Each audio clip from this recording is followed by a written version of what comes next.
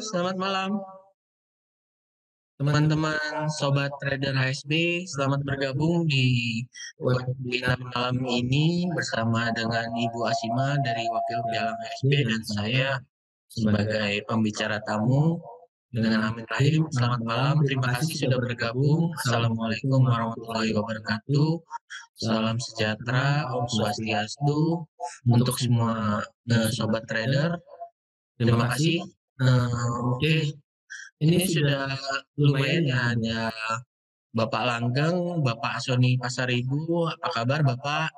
Ibu Vina dan Bapak Edison Edison ya. Selamat malam.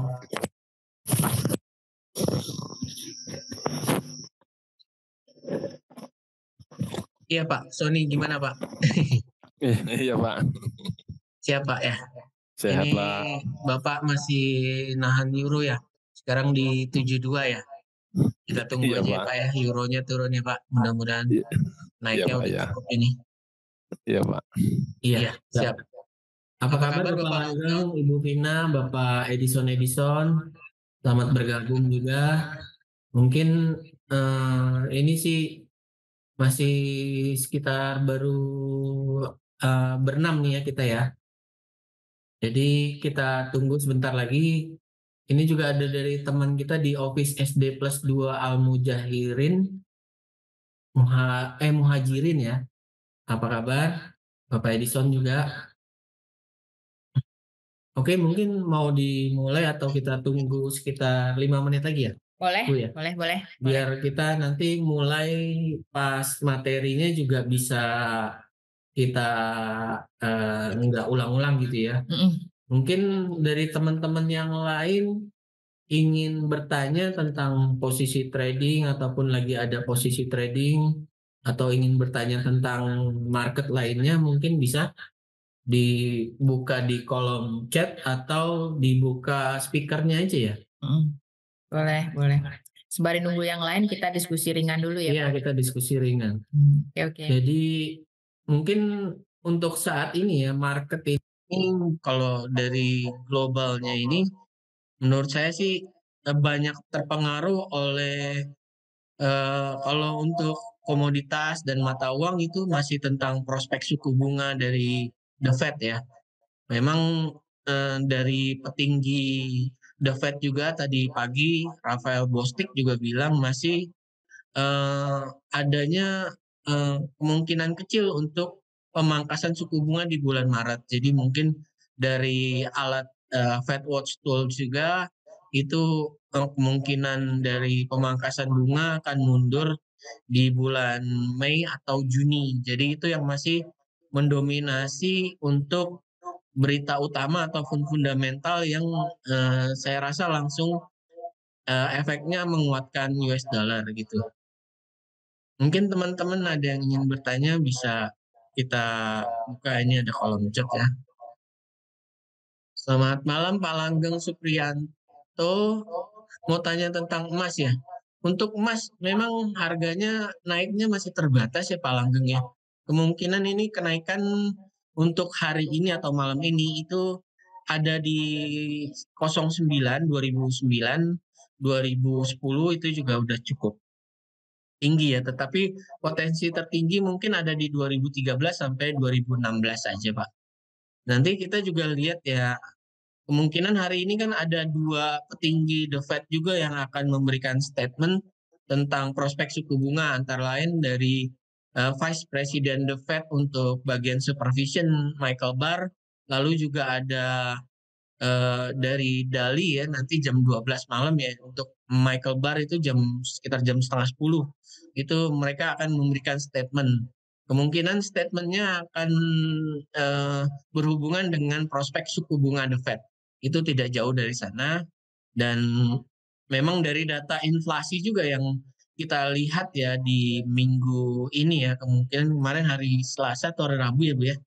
Itu uh, inflasinya masih cukup uh, bagus untuk The Fed menahan tingkat suku bunga di level tertinggi. Nah itu juga yang agak memberatkan harga emas untuk bisa naik ya Pak Langgeng ya. Jadi memang dari data inflasi kemarin anjlok jauh sekali di uh, 2013 34 langsung anjlok ke 1993 itu ya.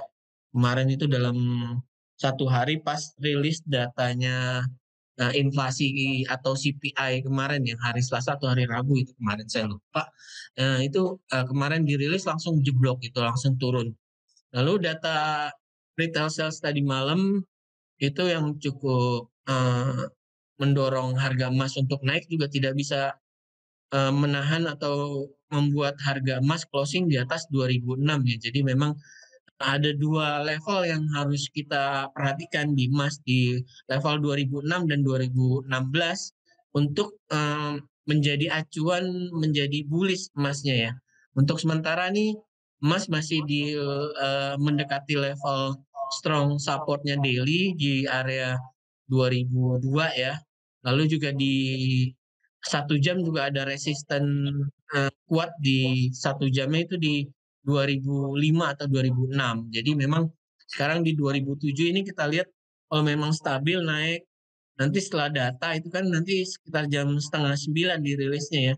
Kalau memang masih stabil rilis di atas uh, rilis datanya terus mendorong emas naik di atas 2006 sampai 2009 itu mungkin masih ada potensi bullishnya sampai 2013 atau 2016 itu tertingginya potensi untuk hari ini untuk emas. Begitu Pak Langgeng. Uh, Pak Langgeng uh, ada posisi apa mungkin bisa saya kasih masukan mungkin untuk mengambil keputusan ataupun saya bisa memberikan referensinya. Oke, kalau tidak ada pertanyaan lagi, oke ini ada satu lagi. Belum ada posisi. Oke, baik Pak Langgeng. Mungkin Pak Langgeng bisa perhatikan atau mengincar posisi ambil posisi jual ya di kisaran 2009 sampai 2013 tertinggi di 2016 lalu target TP-nya mungkin di area 2000 eh, kalau turun di bawah level 2000 pasti testing lagi ke 1993 ya atau 95 dulu gitu ada uh, area support juga di sana tapi kemungkinan yang kuatnya adalah di 1993 ya Pak Langgeng ya Kalaupun mau TP mungkin eh, misalnya nih Bapak sel di 2009, lihat lagi di 2005 atau 2001 kalau nggak kuat mau TP di sana boleh. Kalau break di bawah 2000 ya ditahan untuk TP di 1993 itu juga oke okay sih. Kalau uh, area bottomnya menurut saya kalau memang rally-nya masih turun itu kemungkinan di area 1978 atau 1968 ya itu area bottom yang diincar oleh emas karena memang dia juga harus ngebreak area uh, low di bulan Desember di area 1978 eh, atau 75 di situ di area situ kalau nggak salah. Gitu Pak. Oke, kalau tidak ada pertanyaan lagi kita langsung ke materi aja ya. Sekarang udah jam 19.25. Mungkin untuk malam ini akan dibuka dulu dari Wakil Pialang Ibu Asima dari Wakil Pialang HSB. Silakan waktu dan tempatnya Ibu. Terima kasih Bapak. Bentar. Oke. Baik, terima kasih Bapak Amin. Selamat malam Bapak Ibu semua. Terima kasih sudah join di webinar kita malam ini. Saya harap untuk webinar kali ini Bapak Ibu bisa mendapatkan lebih banyak lagi uh, informasi tentang trading ya, uh, terutama untuk Bapak Ibu yang masih baru, yang baru mengenal trading. Harapan saya untuk selalu aktif baik di grup Telegram HSB maupun di webinar-webinar yang akan sering kita adakan ya. Biasanya sih setiap hari Rabu ya Pak Min ya.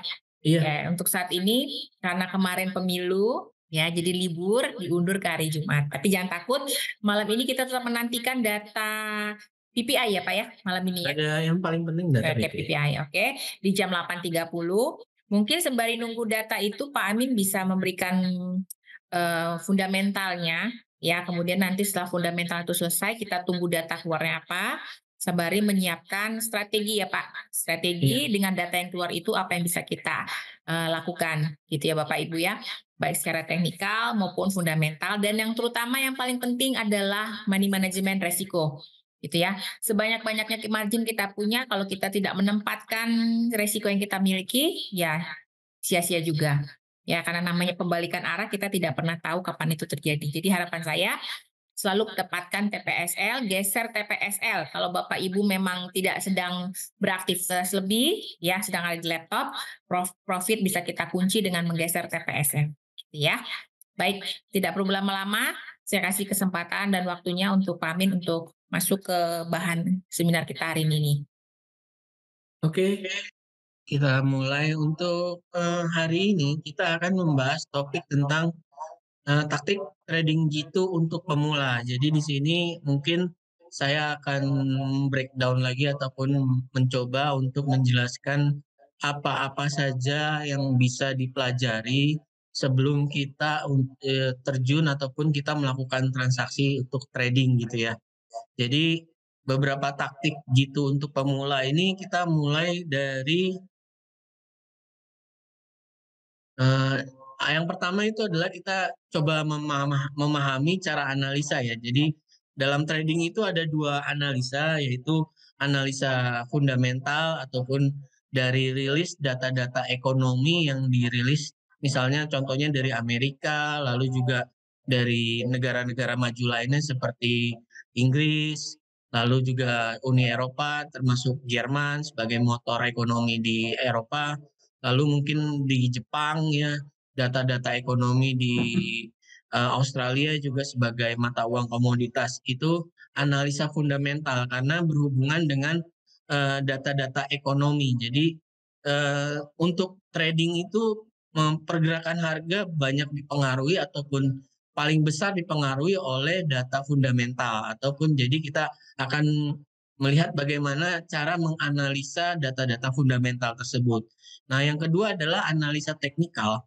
Analisa teknikal adalah uh, jadi um, pergerakan harga ataupun harga yang sudah terjadi uh, itu kita menganalisa jadi uh, kita bisa menyimpulkan tren pergerakan harga sekaligus uh, kita menentukan harga-harga psikologis. Jadi harga psikologis itu menentukan ini harga sudah kemahalan ataupun harga ini sudah terlalu murah. Jadi kita kalau prinsip dagang yang sangat sederhana adalah kita jual di harga mahal, beli di harga murah gitu ya kalau nggak salah ya. Kalau kita uh, taktik dagangnya sih kayak gitu. Nah trading juga sama kita uh, banyak berhubungan dengan taktik dagang gitu namanya juga trading jual beli gitu ya. Lalu yang kedua adalah setelah kita melakukan analisa eh, baik fundamental fundamental maupun teknikal, kita harus membuat ataupun mempunyai trading plan ataupun rencana trading sebelum melakukan trading. Mengapa kita mempunyai tra trading plan itu sangat penting karena trading plan itu akan eh, menghilangkan kegugupan, emosi, lalu juga kita eh, kebingungan misalnya kita sudah ambil posisi trading jual atau beli, kita tidak tahu ambil uh, ambil untung di mana, lalu kita untuk membatasi resikonya di mana, uh, itu stop loss ataupun taking profitnya di mana, itulah yang kita susun di dalam sebuah trading plan. Lalu yang ketiga adalah mengontrol emosi dengan psikologi trading. Jadi psikologi trading ini adalah uh, bagaimana kita bisa uh, menahan diri ya. Ataupun kita bisa melihat kita ini sudah mencapai profit. Nah, kita disiplin dengan trading plan itu juga termasuk psikologi trading. Lalu juga psikologi uh, psikologi trading juga termasuk tentang uh, money management. Jadi di mana kita tetap uh, prinsip utamanya adalah kedisiplinan, di mana kita disiplin terhadap pertama ekuitas ataupun modal, yang kedua adalah trading plan-nya tadi kita taking profit di mana nah uh, jangan sampai faktor emosi ini misalnya nih kalau udah lagi rugi kita uh, mengambil posisi pada akhirnya posisi tradingnya terlalu banyak atau kita kenal dengan overload gitu ya. Overload itu lot itu satuan transaksinya kita ambil posisi trading terus menerus tidak memperhatikan margin tradingnya itu. Karena kan margin trading itu uh, kalau rugi itu ada batasnya modal yang disetor adalah batas dari kerugian Sedangkan kalau profit di trading itu tidak ada batasnya. Boleh ditahan sampai kapan aja. Nah, itu kan uh, salah satu psikologis trading yang kadang terbalik. Uh, kadang uh, orang yang tidak um, bisa mengontrol psikologis trading emosinya pas lagi rugi ditahan, pas untung cepat-cepat diambil. Nah, itu yang seharusnya dibalik. Karena kan kalau rugi itu seharusnya cepat-cepat dibatasi ataupun di uh, ambil tindakan misalnya mau di cut loss ataupun mau di locking ataupun mau di hedging ya locking dan hedging itu hampir sama nah kalau profit ya harusnya didiemin dulu sampai kita kalau kita sudah punya trading plan kita tahu ini target uh, TP1, TP2, TP3 ataupun resisten 1, 2, 3, support 1, 2, 3 itu adalah target untuk ambil untungnya gitu. Kalau memang dia masih rally, ya kita tahan boleh. Bahkan mau tahan berbulan-bulan, bertahun-tahun itu dalam trading itu tidak masalah. Nah, nah kalau yang rugi itu yang jadi masalah karena modal trading yang terbatas tadi. Lalu yang keempat dari psikologis trading itu adalah kelanjutan untuk mau terus belajar membuat strategi trading baru ya dengan misalnya mengupdate data fundamental. Karena data fundamental ini terus berkembang misalnya dengan adanya pernyataan dari bank sentral ataupun anggota dewan bank sentral lalu juga ada perubahan tren atau tidak gitu.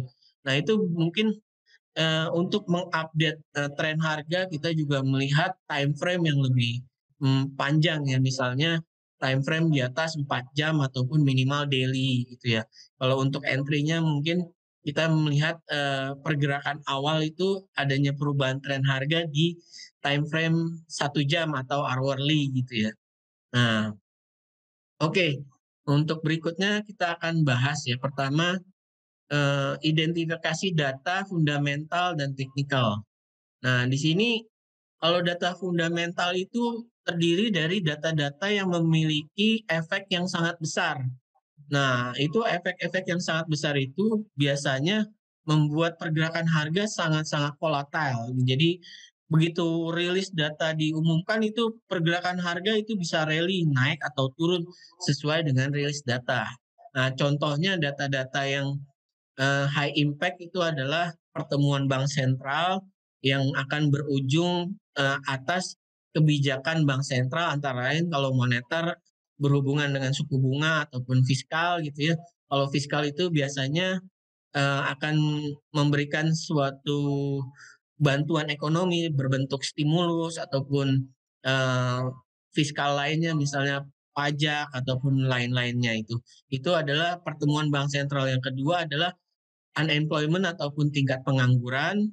Nah, yang ketiga consumer price index karena consumer price index itu Eh, merupakan indeks harga konsumen yang akan menjadi acuan suku bunga dari bank sentral. Kalau memang inflasinya uh, terlalu tinggi, bank sentral bisa uh, mengambil tindakan dengan menaikkan tingkat suku bunga untuk menurunkan uh, tingkat inflasi atau CPI. Nah, CPI ini adalah berhubungan dengan tingkat inflasi.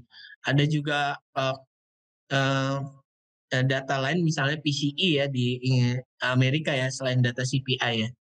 Lalu ada gross domestic product. Lalu di sini gross domestic product itu adalah uh, produk domestik bruto ataupun bagaimana suatu negara uh, pertumbuhan ekonominya berkembang atau tidak. Nah, faktor lain data impact uh, high impactnya itu adalah misalnya unplanned forex news. Nah, itu unplanned forex news adalah misalnya pernyataan suku bunga, uh, pernyataan dari Dewan Bank Sentral anggotanya mungkin mengasihkan memberikan statement ya.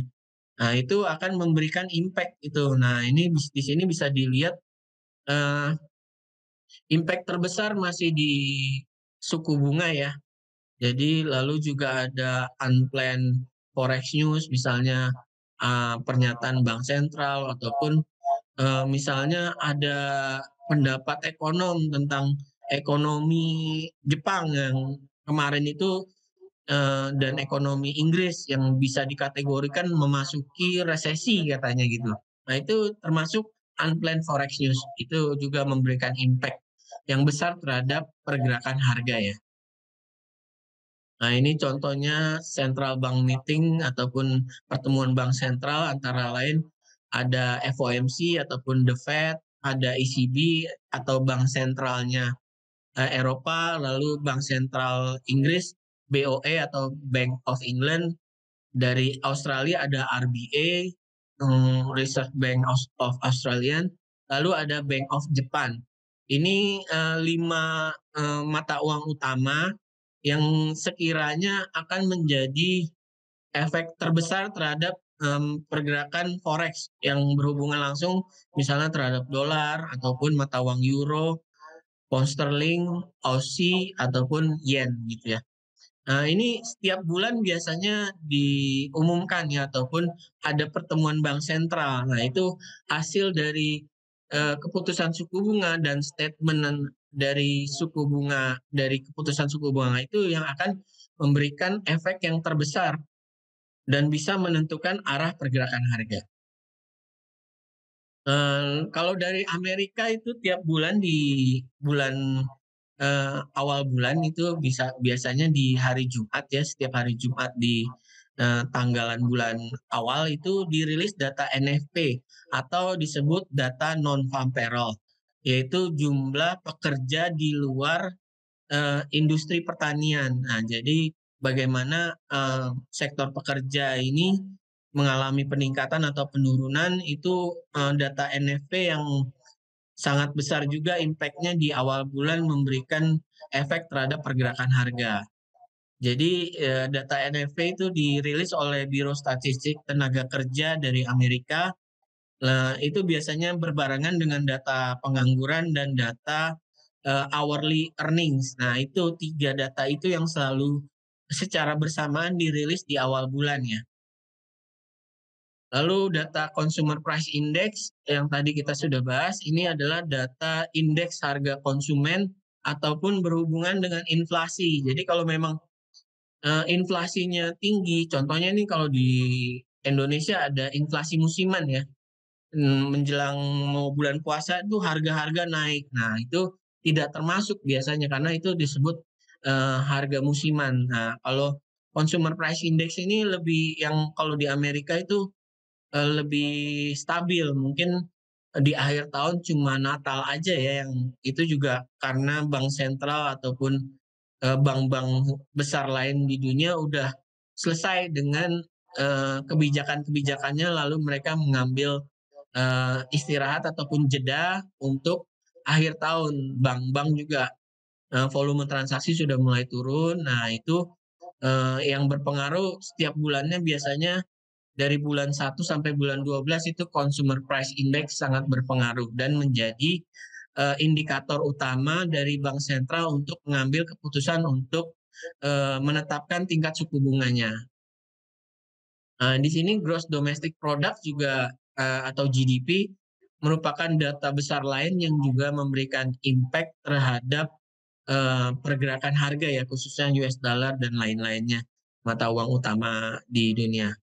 Nah, ini yang kita bahas terakhir adalah misalnya unexpected uh, unexpected uh, news gitu ya. Misalnya ada faktor geopolitik, ada serangan teroris, ada perang ataupun ada konflik gitu ya.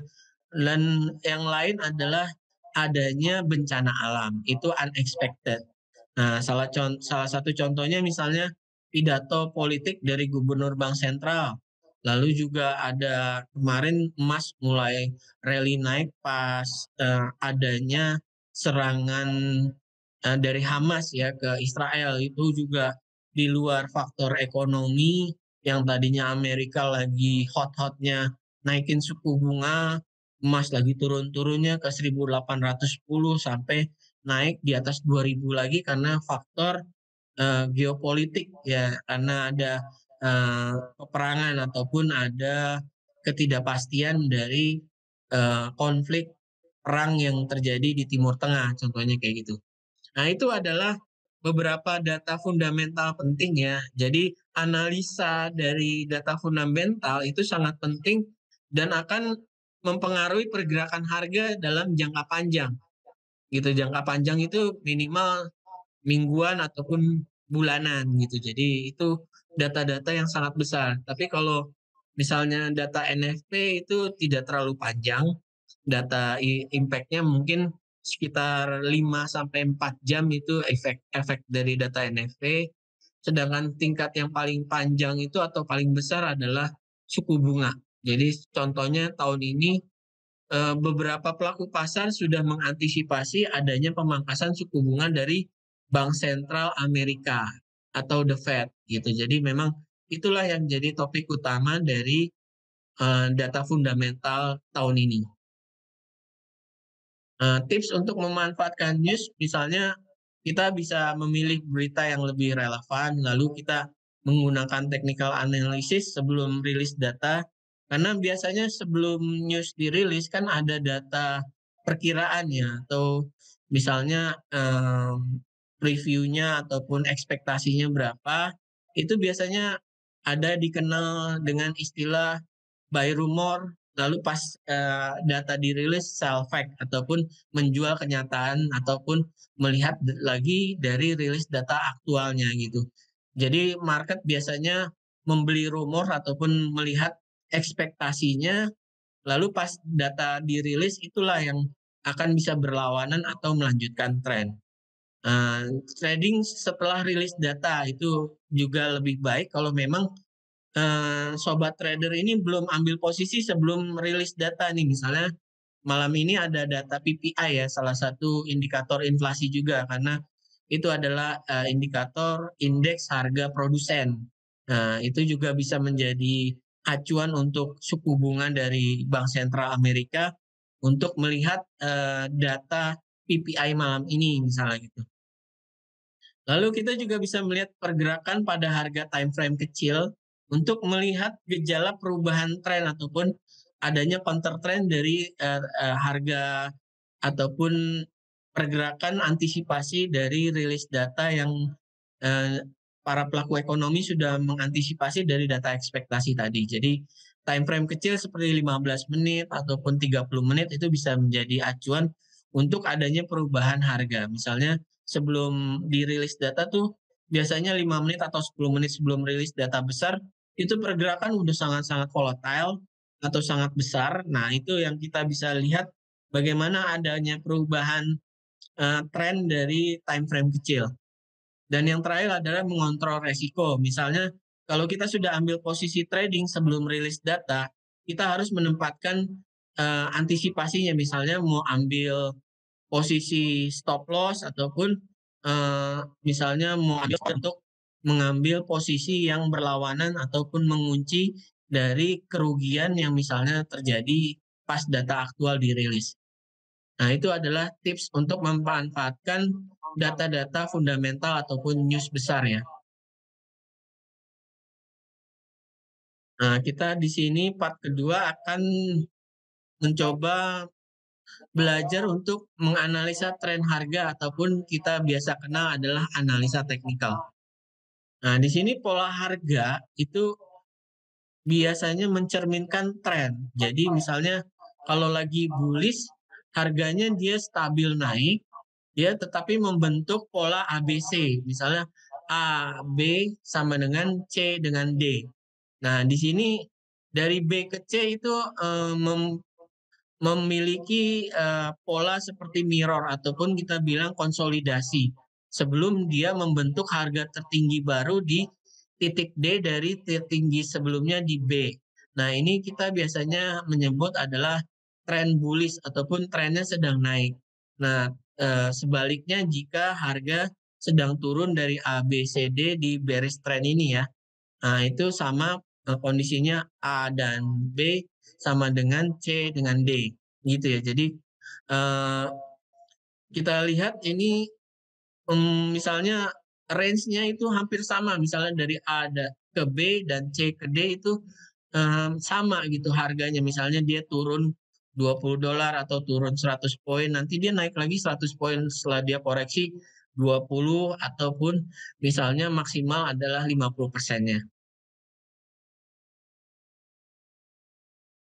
Nah, di sini juga kita bisa melihat pola pergerakan bullish trend itu bisa terjadi kalau memang ada uh, titik harga tertinggi baru atau higher high Nah, itu di sini kalau kita dimulai ini harga tertinggi, lalu dia turun high dan low.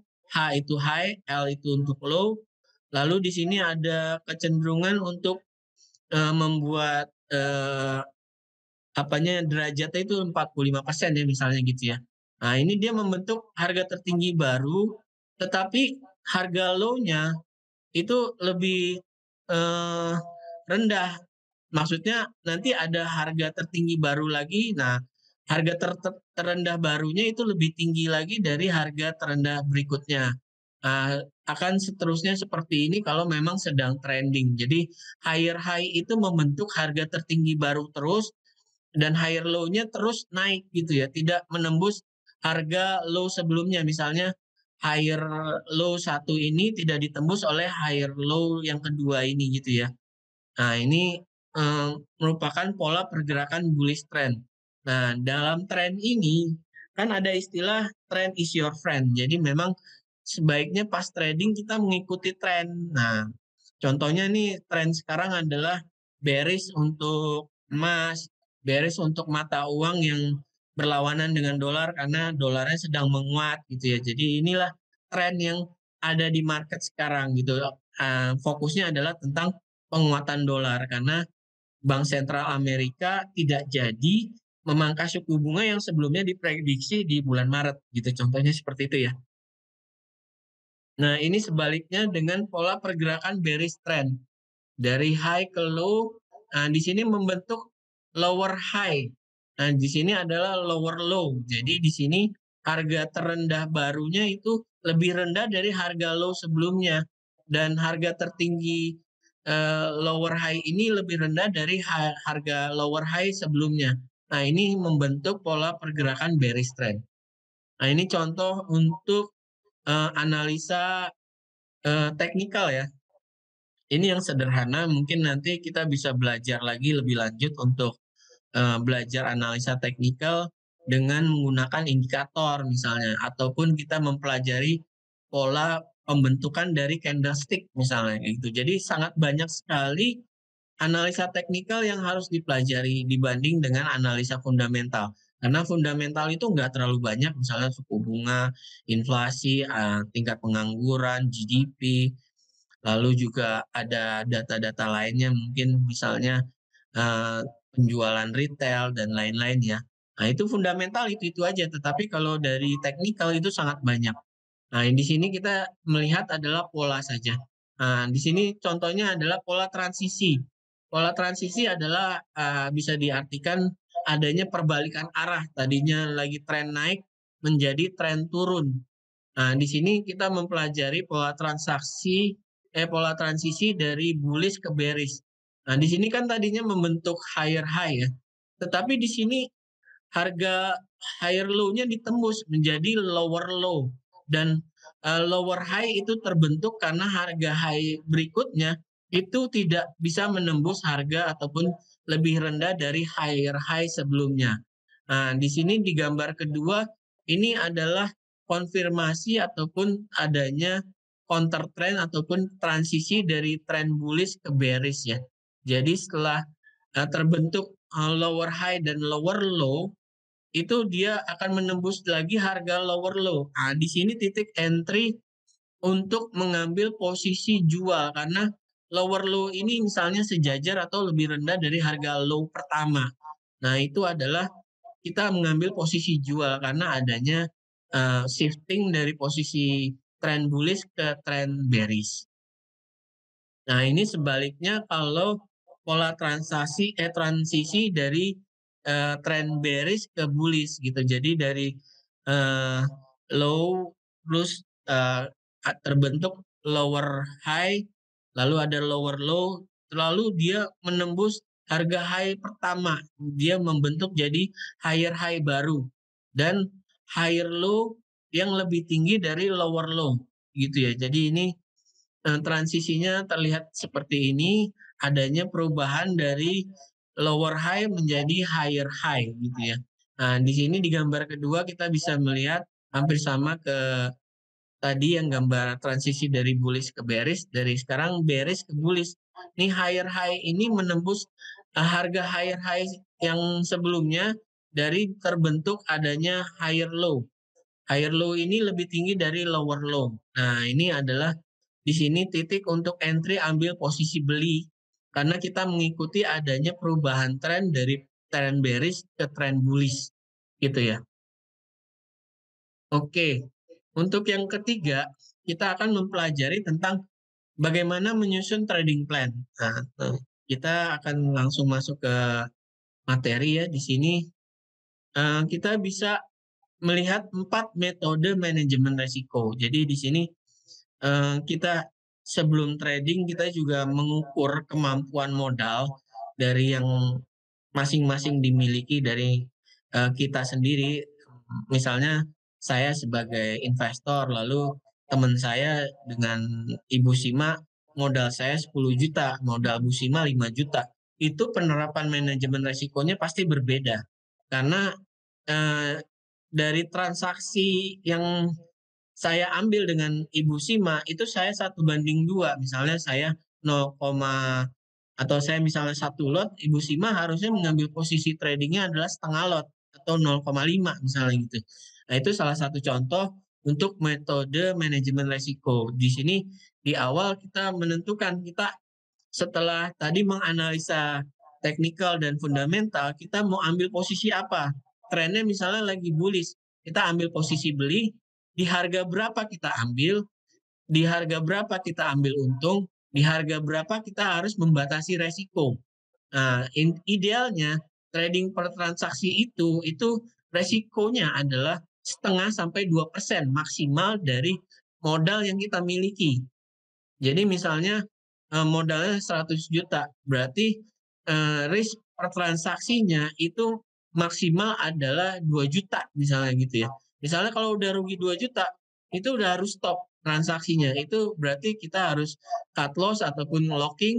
Nah, itu misalnya kita ambil eh, apa manajemen risknya di stop lossnya di situ.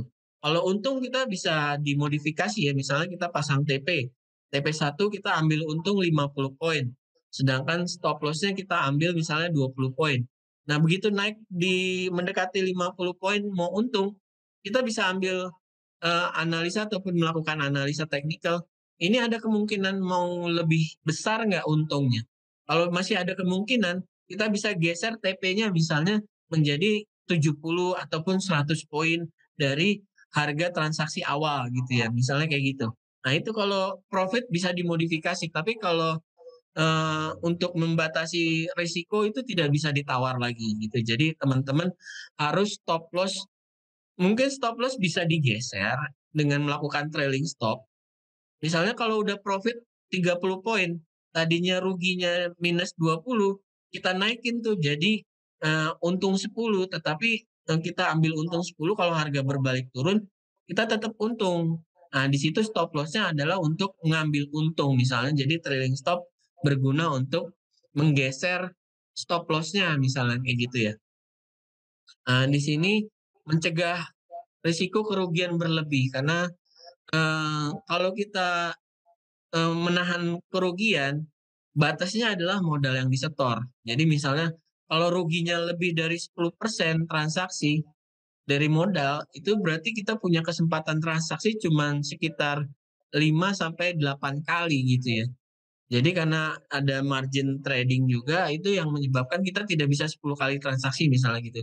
Jadi kita punya kesempatan kalau kita ambil ruginya per transaksi 10%, kita cuma bisa uh, bertransaksi misalnya cuma 8 kali. Lalu kalau udah loss terus malah kena faktor emosinya gitu ya. Jadi eh, saking emosi ah ini saya ambil posisi buy lagi. Tadinya berharap naik ternyata turun. Turun lagi di buy lagi. Nah, itu menjadi resiko. Jadi kalau jika resiko per transaksi menggunakan 50 sampai 100% dari modal itu disebut high risk ataupun lebih cenderung kita melakukan apa ya uh, bertaruh ataupun berjudi. Jadi itu tidak uh, disarankan ataupun uh, tidak mm, menjadi transaksi ataupun trading ini menjadi awet dan itu akan mempengaruhi faktor emosi kebanyakan seperti itu. Lalu strategi yang kedua adalah membatasi open posisi. Jadi sebaiknya itu trading itu kita harus menetapkan dulu nih, kita mau trading di produk apa dulu, satu posisi dulu aja. Kalau modalnya terbatas itu terutama ya, kita ambil posisi satu transaksi atau satu posisi dan uh, kita menunggu dulu karena kita sudah punya trading plan. Kita melihat dulu ini uh, uh, apa kena posisi untungnya ataupun kita stop lossnya misalnya ambil taking profit atau stop loss. Nah baru setelah itu kita uh, menganalisa lagi ataupun mempelajari pergerakan harga lagi karena memang udah salah. Jangan emosi. Jadi kita harus mempelajari lagi kok kenapa saya tadi trading rugi gitu ya. Jadi lebih baik mengevaluasi dulu kenapa tadi transaksinya rugi kalau untung itu bisa uh, di ini ya di apa dibiarin gitu ya. Tapi kalau rugi jangan dibiarin, harus di stop kerugiannya ataupun dikunci dulu misalnya gitu. Nah, ini pembatasan posisi trading misalnya maksimal empat posisi dalam satu waktu. Ini empat posisi kalau memang modalnya besar. Tapi kalau modalnya terbatas, sebaiknya saya sarankan tetap satu posisi ya. Jadi setiap posisi trading memberikan potensi profit dan loss yang berbeda. Dan semuanya kalau kita punya lebih dari satu posisi, jadi kalau lagi rugi itu akumulasinya semakin besar kerugiannya. Beda kalau lagi profit ya. Kalau memang marketnya tren naik, terus kita ambil buy. Terus naik lagi kita ambil buy. Kalau kita sudah e, mempunyai analisa teknikal ini masih mau naik, itu nggak apa-apa. Tetapi kalau lagi rugi, ambil posisi lagi, itu turun lagi misalnya rugi lagi, ambil lagi posisi, itu bisa saja uh, modal yang kita punya habis dalam waktu yang sangat cepat, misalnya satu hari ataupun seminggu. Itu karena kita tidak mengontrol dari manajemen resiko karena banyaknya posisi trading yang uh, dilakukan di satu uh, misalnya satu produk ataupun beberapa produk gitu ya. Lebih baik fokus dulu dan melihat data-data tadi fundamental dan teknikalnya baru ambil keputusan untuk trading. Nah, kecuali beda kalau kita punya uang yang besar ya, misalnya punya uangnya 100 juta, kita mau transaksi 0,1 eh, ambil tiga posisi, lima posisi itu masih oke. Okay. Nah, dengan idealnya misalnya 100 juta, misalnya ambil posisi satu lot, misalnya kayak gitu, itu masih oke okay, gitu. Tetapi kalau 100 juta kita transaksi sekali transaksi 5 lot, 3 lot, itu itu sudah sangat beresiko gitu. Nah, yang ketiga adalah kita mengatur risiko, risk rewardnya. Biasanya risk rewardnya adalah uh, satu banding dua. Misalnya kita ambil uh, posisi trading itu taking profitnya misalnya untungnya 50, stop lossnya 20 ataupun stop lossnya 25 maksimal kayak gitu ya. Jadi memang di sini adalah uh, trading plan-nya kita risk and reward-nya itu satu banding dua minimal. Kalau satu banding tiga itu lebih bagus misalnya gitu ya. Tapi minimal satu banding dua. Jadi stop loss itu berfungsi untuk melindungi atau membatasi posisi kerugian dan ekuitas dari masing-masing uh, investasi sobat gitu ya. Jadi misalnya sobat trader punya ekuitas 100 dolar, 1000 ataupun berapapun itu coba dihitung dulu dari rewardnya gitu. Jadi transaksi tetap kalau bisa satu posisi aja kita fokus dulu kalau memang sebelum transaksi mau memilih beberapa produk itu bisa, nggak apa-apa. Tetapi kalau udah transaksi terus melihat produk yang lain itu tidak disarankan sebaiknya fokus dulu kalau memang trading plan-nya sudah selesai kena TP atau SL bolehlah beralih ke produk yang lain misalnya dari forex ke emas komoditas gitu ya stop loss dibatasi dalam jumlah yang kecil dari modal trading jadi tadi misalnya risk uh, per trade-nya maksimal 2% atau maksimal paling maksimal itu 5% dari modal. Itu sudah paling besar gitu ya. Itu stop loss-nya yang harus dibatasi. Sedangkan take profit itu harus lebih besar dari stop loss-nya. Minimal kan dua kalinya dari stop loss. Misalnya stop loss-nya 30 poin berarti taking profit-nya adalah 60 poin targetnya seperti itu ya. Contoh risk reward ini adalah stop loss 20 poin, dari harga entry, taking profit 40 poin dari harga entry. Nah, ini salah satu contohnya. Dan yang terakhir ini adalah uh, memanfaatkan trailing stop. Jadi ini memodifikasi pergerakan harga stop loss ya. Jadi kalau memang dari trading plan itu ternyata posisi entry-nya sudah profit 30 poin, nah itu trailing stop akan menggeser posisi stop loss misalnya dari 20 poin jadi 10. Nanti naik lagi 10, begitu profitnya udah naik lagi misalnya dari 30 jadi 40. Nah, trailing stopnya adalah di harga entry. Jadi misalnya jadinya kalaupun dia ada perubahan harga secara drastis gitu ya, itu uh, uh, akan menjadi di break evennya gitu ya. Nah kalau dia udah untung 50 poin, trailing stop itu naik lagi jadi 10 poin dari harga entry. Nah, itu salah satu contoh dari trailing stop. Jadi teman-teman bisa memodifikasi uh, posisi tradingnya menggunakan trailing stop ya. Nah, ini adalah empat metode manajemen resiko yang bisa diterapkan dalam menyusun trading plan gitu ya. Oke, nah di sini juga teman-teman juga harus mempelajari tentang tipe order ya. Nah, di mana ada limit, lalu ada stop, lalu ada stop loss, ada taking profit. Nah, saya jelaskan tentang limit. Limit itu adalah pemesanan harga. Misalnya kita mau pasang limit buy. Nah, sebelum harga menyentuh harga buy kita, kita memasang harga di bawah dari harga running. Misalnya running sekarang di emas adalah di 2007 misalnya. Kita pasang limit buy-nya itu di area 2003 misalnya. Nah, itu adalah limit buy. Sedangkan untuk limit sell misalnya di sekarang 2007 di emas, kita limit sell-nya adalah di 2010 misalnya. Itu untuk memasang order limit. Jadi kita memasang harga. Nah, yang kedua adalah stop. Stop itu adalah kalau harga menembus dari harga tertinggi dari harga running sekarang. Misalnya kita mau pasang stop buy order untuk emas di sekarang harga running di 2007 pasang stop buy ordernya itu adalah di 2010. Jadi begitu harga naik ke di 2010 itu otomatis buy karena misalnya kita mengantisipasi pas data besar ya. Nah, begitu dia naik di atas 10, kita udah punya posisi buy itu di 10 walaupun sebelum kita uh, pasang order buy stop itu atau stop buy itu kita di 2007. Nah, itu namanya stop. Dan sebaliknya dengan stop sell, misalnya di harga sekarang 2007 kita memasang stop sell order itu di 2003 misalnya. Jadi begitu harga turun di bawah 2003 eh, kita otomatis menyentuh harga sell kita atau stop order sell kita di 2003 gitu ya. Nah, kalau stop loss kita juga bisa memesan harga untuk mengantisipasi kerugian misalnya dari harga entry kita di 2007, kita pasang stop lossnya misalnya di 2004. Lalu pasang profitnya adalah di 2000, taking profitnya adalah di 2013. Jadi eh, stop lossnya 3 dolar, profitnya 6 dolar, satu banding dua ya kayak gitu ya. Nah itu tentang tipe order. Nah ini mungkin trader pemula juga harus memahami. Kalau di trading itu kita bisa pesan harga. Mau pesan harga uh, untuk harga entry, harga untuk uh, antisipasi risknya maupun harga untuk ambil untungnya ya.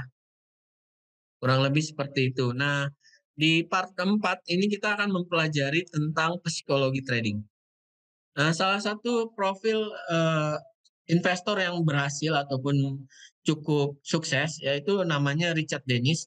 Itu dia seorang trader dari Chicago. Dia uh, juga lulusan dari Tulane University di uh, Amerika di Chicago dan tergabung dengan Chicago Board of Trade. Nah ini dia sudah terkenal sekali karena kesuksesannya ya. Dia menciptakan sistem trading kura-kura itu. Jadi nanti kita bisa jelaskan. Dia mengamati penakaran kura-kura lalu melakukan eksperimen the turtle. Nah istilah dari eh, apa tuh psikologis tradingnya dia menganalogikannya dengan seperti eh, ini ya apa pola pergerakan kura-kura mungkin gitu. Jadi di sini dia memperkenalkan trading kura-kura dikenal kesuksesannya sebagai trader karena dia modal awal itu dari 400 juta lalu dia sukses menjadi mengumpulkan sampai 100 juta dolar. Padahal awalnya cuma 400 dolar doang. sampai dengan 100 juta dolar. Itu adalah salah satu acuan eh, suatu penempatan ataupun eh, tingkat kedisiplinan, konsistensi dari strategi trading Richard Dennis. Nah, di sini mungkin saya akan eh, memberikan eh, tujuh psikologis trading dari Richard Dennis. Yang pertama adalah eh, apa yang dapat dimenangkan, dihilangkan, dan dap, beberapa kemungkinan kedua hal tersebut dapat terjadi. Jadi trading itu bisa menang, bisa rugi gitu kan. Jadi harus dilakukan perhitungan statistik.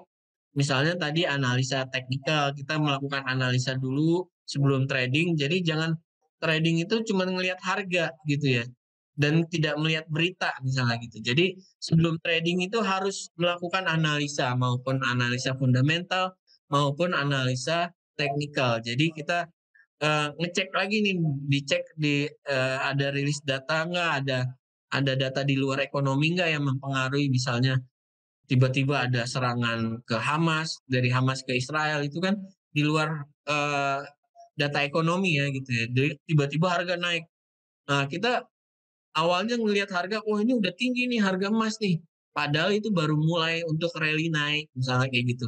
Kita tidak melihat adanya faktor serangan Hamas ke Israel, misalnya kayak gitu. Nah itu juga menjadi uh, landasan dari psikologi trading ya. Jadi teman-teman yang pertama sebelum trading itu harus melakukan analisa dulu, gitu ya. Yang kedua disiplin dalam trading. Jadi melakukan tindakan tepat terhadap yang telah market berikan kepada kita. Jadi kita istilahnya adalah follow the trend. Jadi market ini e, memang tidak bisa lihat dari harganya aja, kita bisa harus melihat analisa teknikalnya gitu. Jadi e, disiplin nih sebelum trading kita menganalisa dulu tetap.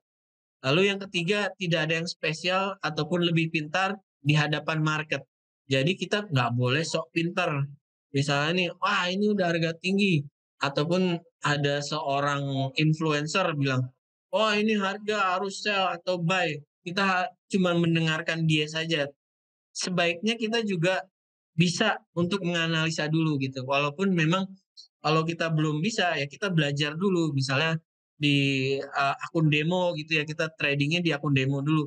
Nah kalau kita ngelihat oh ini influencer katanya bagus nih katanya ya, dia probabilitasnya tinggi. Ya kita ikutin di akun demo dulu. Nah sambil belajar gitu ya.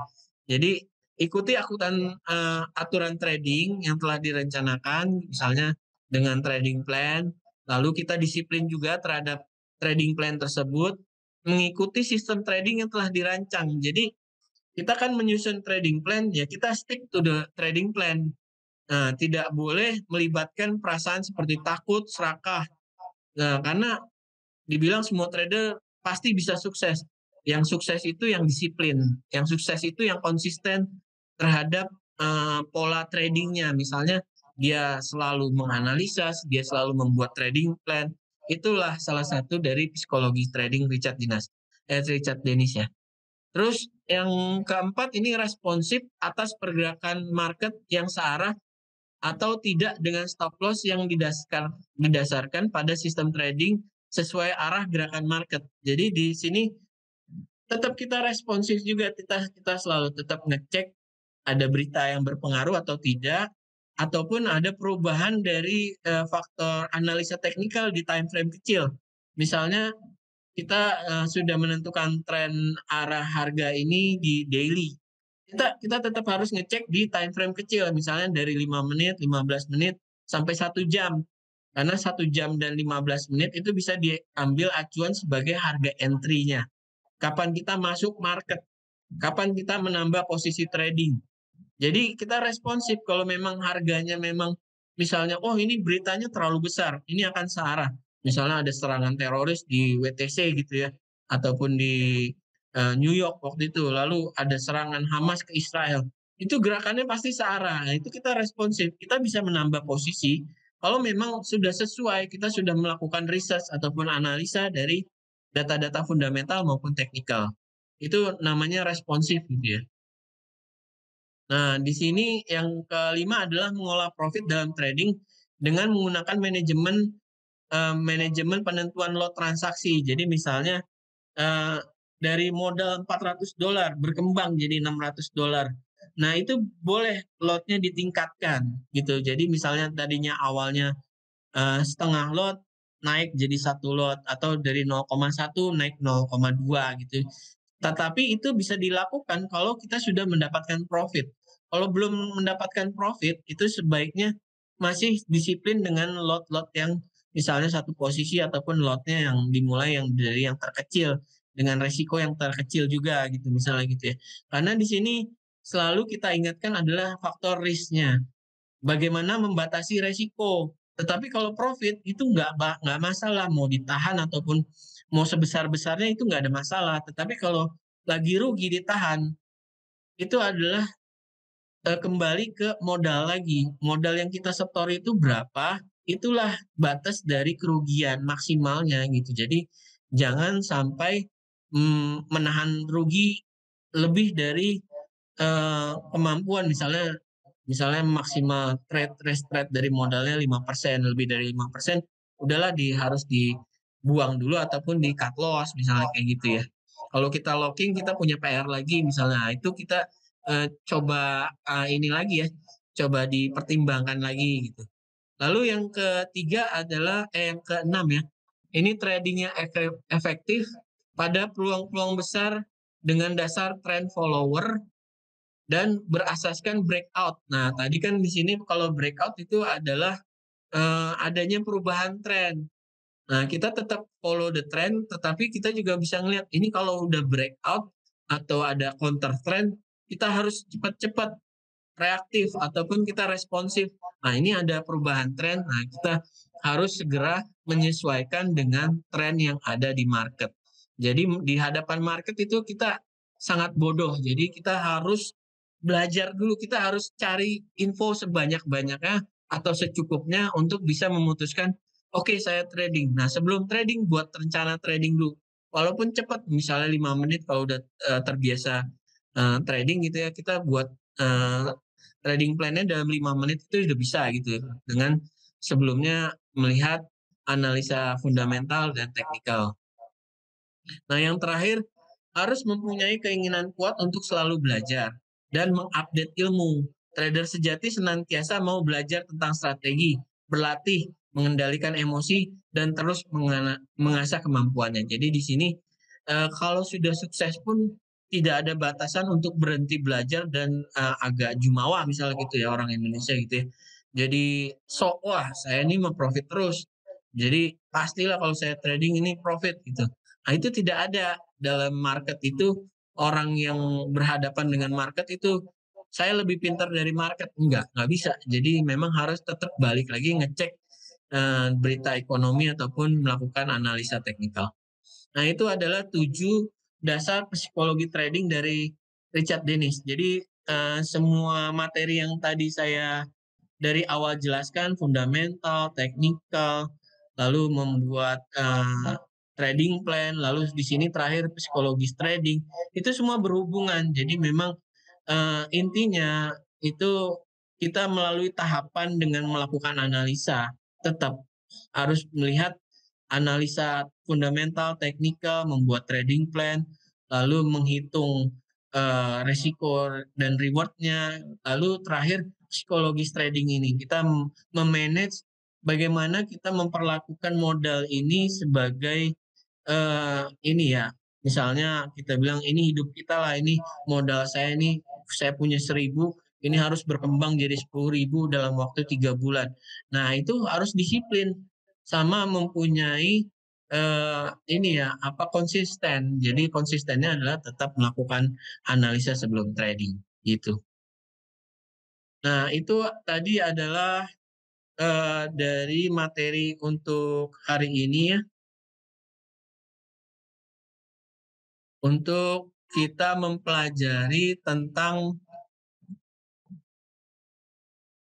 taktik trading gitu untuk pemula gitu. Jadi walaupun saya juga di sini sebagai pembicara, saya juga tetap melakukan uh, analisa dulu sebelum membuat uh, referensi trading gitu.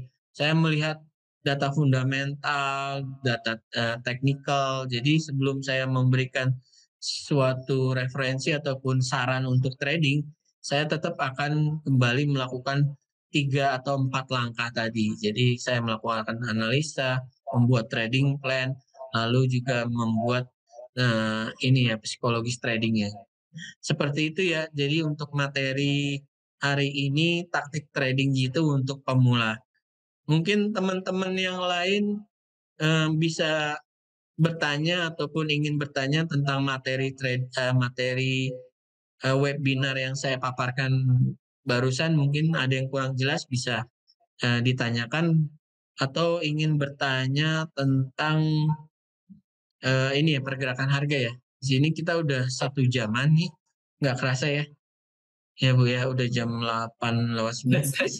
ya nggak Iya, kerasa Pak Amin kayaknya ya. Iya kayak gitu ya. Ini ngantuk nih? Kalau ngantuk, kalau lagi trading sih nggak pernah ngantuk biasanya. Karena ngeliatin harga gitu. Padahal kalau udah punya trading plan sih harusnya udah ah, santai lah ini nanti saya antisipasi di sini ambil untung di sini uh, untuk batasi resikonya di mana gitu. Iya. Nah, mungkin saya akan beralih nanti ini sekitar 11 menit lagi ada rilis data ya. Mungkin setelah rilis data baru kita tutup ya Bu Ya, oke. untuk acara webinar hari ini ya. Hmm. Nah, oke, mungkin saya akan beralih ke teknik apa ini ya. Untuk um, Fundamental malam ini ya Pak. iya.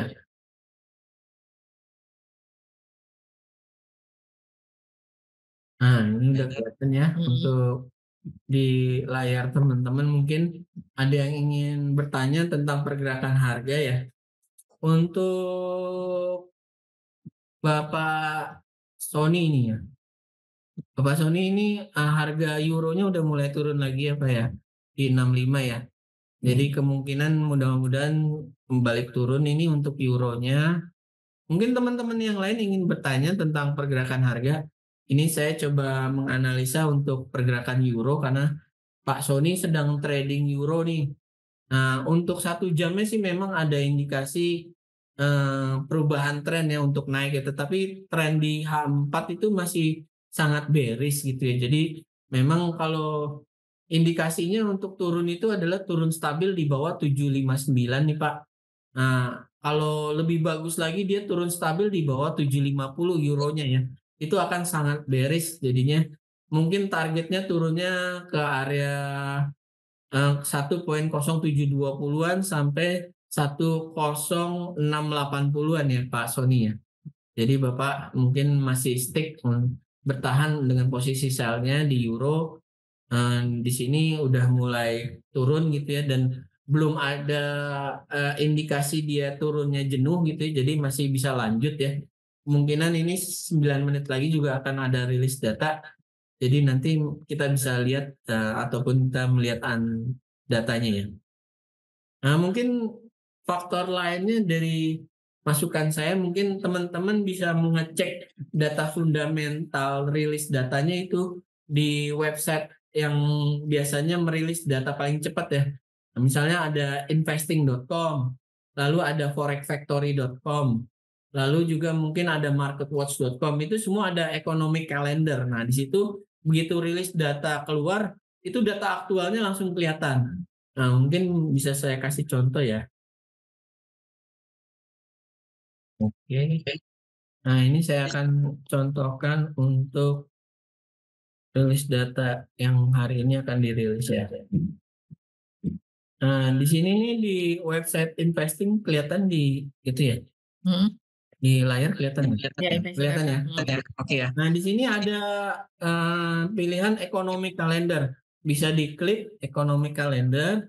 Nah, ini langsung nih kita bisa lihat nih rilis data yang akan eh, nanti, Nanti dirilis misalnya misalnya jam ini kan, Ini kan 6 menit, 6 lagi, menit ya. lagi ya. Ada data building permits. Itu bintangnya semakin banyak itu semakin besar impact-nya.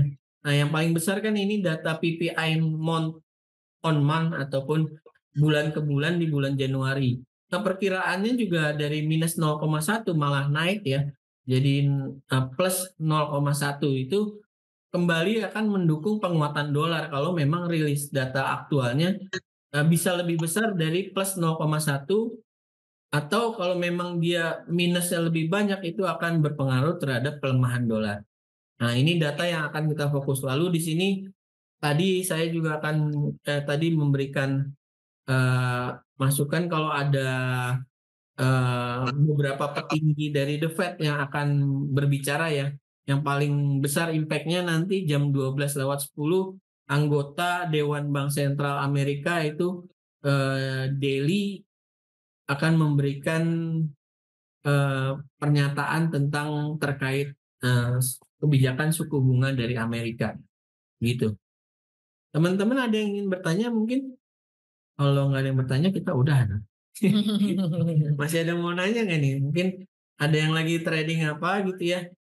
Coba saya bantu untuk memberikan uh, ini ya apa masukan ataupun uh, pendapat saya tentang uh, bagaimana pergerakan harga selanjutnya ataupun potensi harga berikutnya yang bisa terjadi di market gitu. Kita balik ke chart dulu ya. Oke, nah ini Pak Sony di satu jam udah keluar uh, ini minor ya, ada oversold minor. Tetapi di sini uh, kemungkinan kalau kita cek lagi di H4-nya juga masih uh, ada rejection, malah nah, potensinya turunnya masih kuat gitu. Jadi satu jam kita waspadai, mungkin di area 50 ya Pak Sony ya. Untuk kalau memang dia nggak kuat, Bapak mau di TP dulu di sana nggak apa-apa nanti cari pergerakan harga yang lain ataupun peluang di mata uang yang lain untuk tradingnya. Nah, kita lebih mengantisipasi mengamankan keuntungan yang ada dulu untuk mengantisipasi pergerakan eh, yang sebaliknya misalnya dia malah naik ke 790 gitu kan.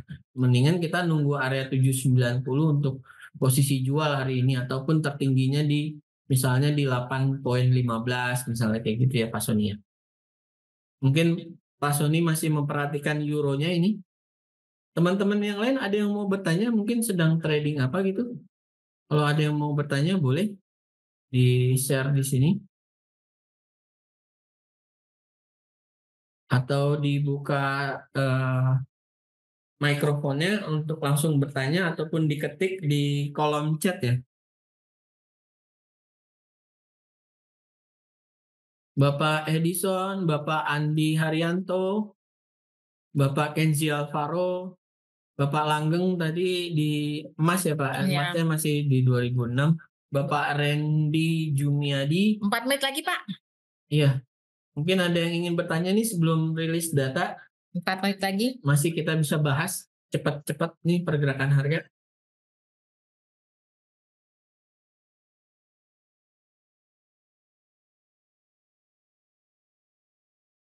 Oke ya, belum ada yang bertanya lagi ini.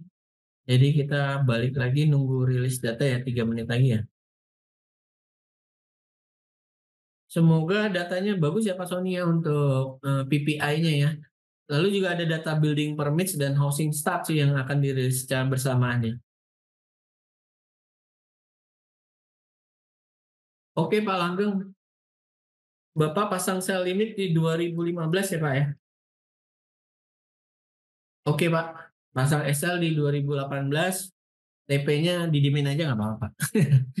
Misalnya TP di 2000 atau di 2005 gitu ya Pak, ya kan lumayan ya Pak. Oke Pak Langgeng, oke. Untuk uh, limit Bapak di 15 sih masih masih cukup jauh ya. Masih sekitar 9 dolar lagi ya dari harga sekarang runningnya. Nah ini dua menit lagi akan dirilis. Mungkin teman-teman yang lain ada yang mau bertanya tentang pergerakan harga di produk-produk tertentu yang sedang ditradingkan oleh sobat trader HSB. Nah, mungkin kita akan kembali lagi ke ini ya, rilis data ya. Nah, ini sekitar satu menit lagi nih. Akan dirilis data PPI, building permit, uh, core PPI, housing start. Ya, yang penting ini ada empat ya. Core PPI, housing start, building permits, dan uh, PPI-nya sendiri ya.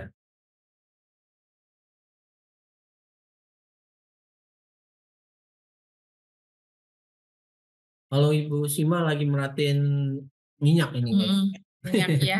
Minyaknya di mulai naik lagi nih ya Mm-mm. 77.11. Memang ada potensi untuk naik testing lagi 77 70-annya sampai 7840-an ya harga tertinggi hari ini ya. Mm-mm. Kemungkinan sih di sana ya Ibu. Pak Langgeng Oke. saya limit di 2015 nggak kejauhan tuh Pak Eh, itu kan target. pilihannya Pak. Mungkin di 2010 ataupun 2013 juga bisa dipertimbangkan ya Pak. Iya. Tetapi mungkin nanti kita lihat aja nih pergerakannya nih. Nah ini sebentar lagi akan dirilis. Oh masih belum. Belum keluar datanya. Iya, iya.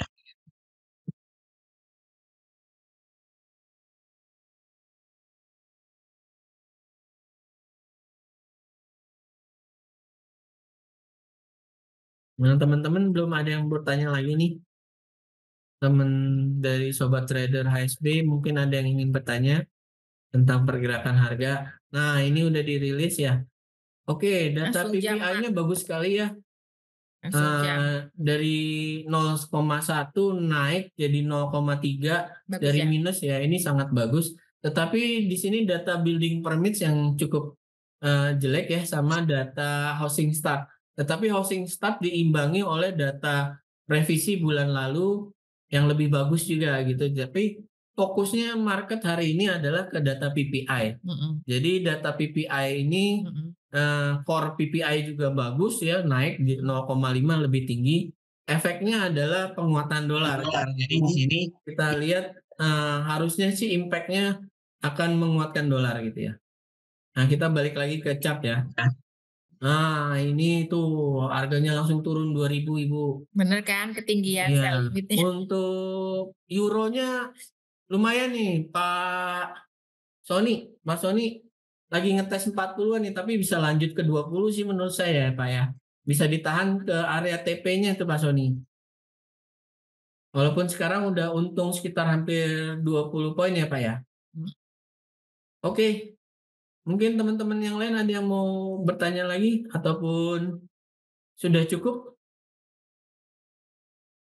Jadi emas sudah bisa sell ya Pak? Iya Pak. Dan Untuk Pak Langgeng sekarang memang data PPI-nya juga mendukung untuk menahan ya. Tetapi Bapak juga harus melihat nih di area 98 nih supportnya.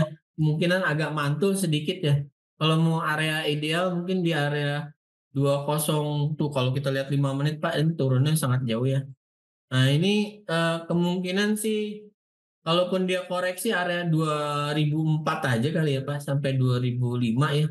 Tetapi itu agak berat sih. Hmm, Kemungkinan sih 2004 sampai 2007 masih bisa. Tetapi ke ke 2010 sampai 2015 kayaknya sangat-sangat sulit ya Pak. Malah lebih cenderung tes area 1993 atau 1995-nya Pak Langgeng mm-mm. gitu. Untuk Pak Sony apa sudah di taking profit atau masih ditahan Pak Sony? Untuk euronya?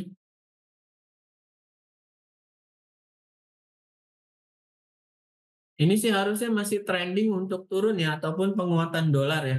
Jadi untuk emas tren turun, mata uang juga seperti euro, pound sterling juga akan kembali melemah untuk USD JPY ataupun yen itu masih naik. Mungkin testing di atas 150 50 akan testing ke 151 00 sampai 15130 ya.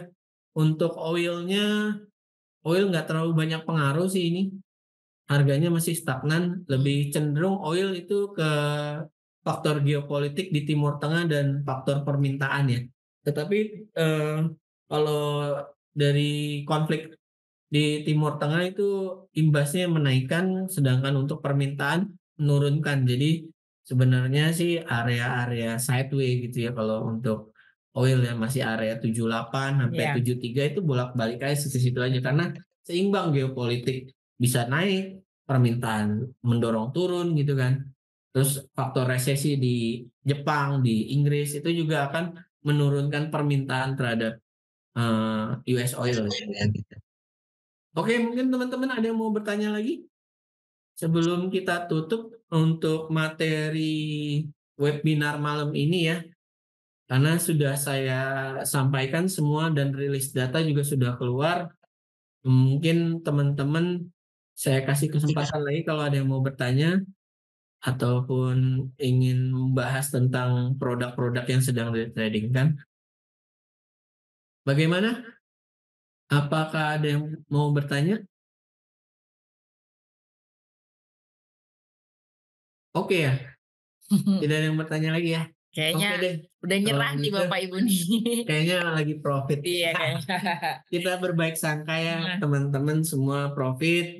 Mudah-mudahan lancar terus, profit terus, tetapi jangan lupa menjaga manajemen resiko dari eh, modal tradingnya, ekuitasnya bisa diperhatikan terus, selalu menjaga eh, manajemen risknya. Kalau profit boleh ditahan, kalau rugi sebaiknya cepat-cepat dibatasi gitu ya. Iya, Oke, tahan gitu. Saya kembalikan sekarang ke Ibu Asima untuk menutup acara webinar malam ini. Baik, Terima kasih Ibu Asima. baik terima kasih Pak Amin, terima kasih para sobat trader, nasabah HSB yang kita sayangin, Bapak Ibu semuanya. Terima kasih sudah hadir webinar kita. Minggu depan hari apa ya Pak webinarnya? Hari Rabu. Hari Rabu. Iya. Ya, sampai bertemu di hari Rabu dengan wakil pialang yang lain Iya. dan Kebetulan saya lagi ketemunya dengan Pak untuk eh, webinar minggu depan ya. Oke, ambil topik apa Pak minggu depan Pak? Saya lupa. Belum. Oke. Nanti di notis di grup Iya, di Telegram. notis di aplikasi dan di grup ya. Telegram. Untuk, eh, minggu depan juga kita bisa cek data-data ekonomi yang penting yang bisa dirilis minggu depan. Jadi teman-teman mungkin eh, akan kembali lagi ketemu dengan saya minggu depan. Kita akan membahas tentang eh, mungkin data fundamental penting yang akan dirilis minggu depan dan bagaimana mengantisipasi pergerakan harganya ya. Siap. Oke, Baik. selamat malam. Terima Selamat kasih malam banyak teman-teman. Terima kasih Sampai Bapak Ibu. jumpa lagi. Wassalamualaikum warahmatullahi wabarakatuh. Selamat malam. Om Santi Santi Om, salam sejahtera. Selamat malam. Selamat Terima malam. kasih semuanya. Bye bye.